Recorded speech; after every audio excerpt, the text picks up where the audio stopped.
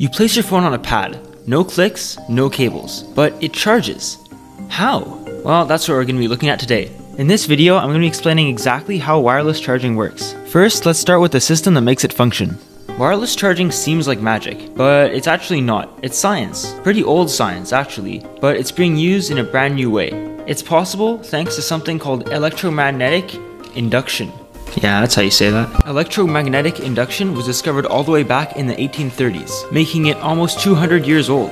But what is it? Well, when electricity flows through a wire, it creates an invisible magnetic field around the wire. And when you place another coil of wire nearby, that magnetic field can push electrons inside it, creating electricity between the two without physical contact. And this is exactly what your charging pad does.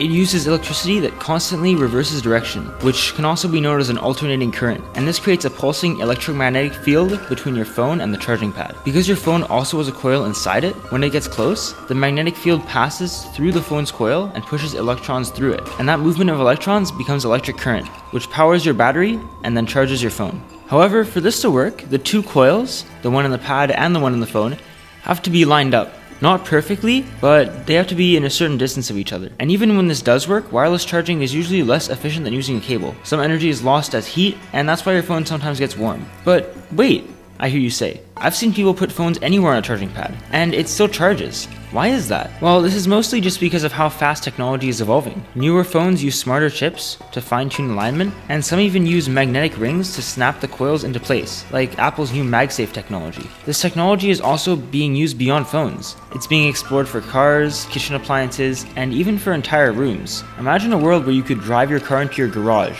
and it just started charging. That would be weird, but pretty cool. So the next time you sit your phone down and it starts to charge, remember, using 19th century physics to power a 21st century device. And I don't know about you, but I think that that's pretty cool.